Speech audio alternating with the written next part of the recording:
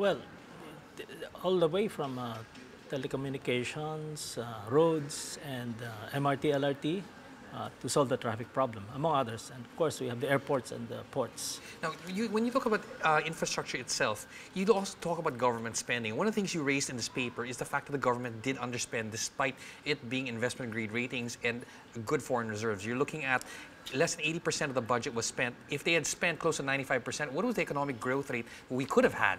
Based on the World Bank uh, uh, estimates, it would have been about 8% over.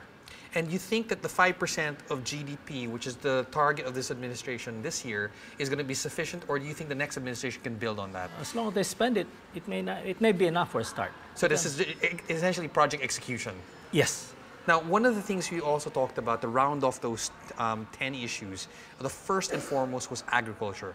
Why the malaise in terms of this administration? If you think about it, very flat growth. And Estrada, for example, the, uh, the uh, uh, administrations of Estrada and Arroyo happen to have much higher growth than, for example, the Aquino administration. That's right. Uh, I think agriculture has been neglected.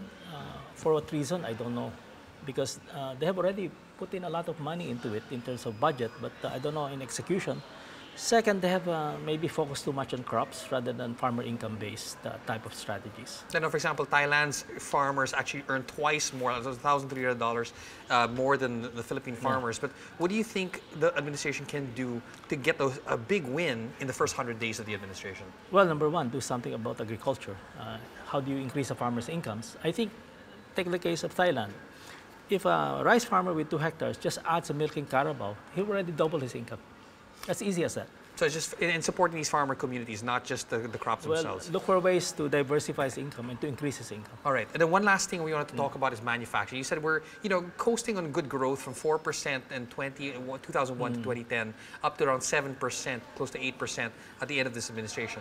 What can the government, in the next government, do to make sure manufacturing has a true renaissance? Number one is uh, reduce the power cost. Second is to you, you reduce smuggling because smuggling kills manufacturing. And one thing you mentioned in an earlier conversation was an export promotion strategy. Should there be a more favorable peso, for example, to help our exporters? It would help if we tweak the peso a bit to make it more competitive. Well, certainly at $83 billion in terms of gross reserves, there's a lot of wiggle room to do. So, Oh, yeah, yeah. Well, it looks like a clarion call. The, the, you know, this paper is very well in, in, in, in, uh, as an instruction, and I appreciate your insights. I hopefully the next president will listen closely. Hopefully. All right. Thanks, Dr. Thank Neri. you. Thank you.